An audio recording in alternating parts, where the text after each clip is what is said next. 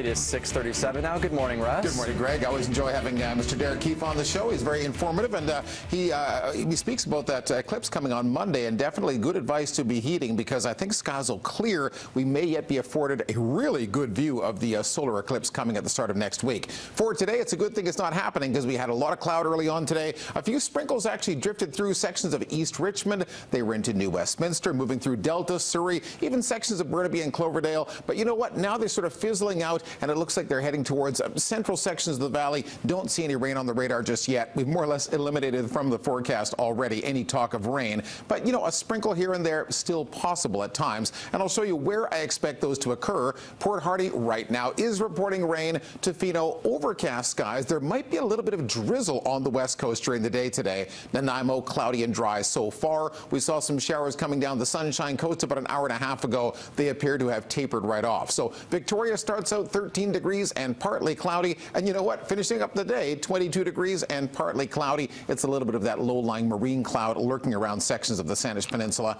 Into Whistler, there is a brief chance of a passing shower. I don't think it'll amount to much, maybe a 30% probability. But the clouds, they hang around sea to sky for quite some time. Yesterday, in the Pemberton region, it got up to 29 degrees. I don't think it'll be quite that warm for this afternoon. Now, locally, your summer day forecast, a little bit unsummery for parts of today in that it's more cloud cover, but by the end of the day, some sun helping out 22 degrees for a high.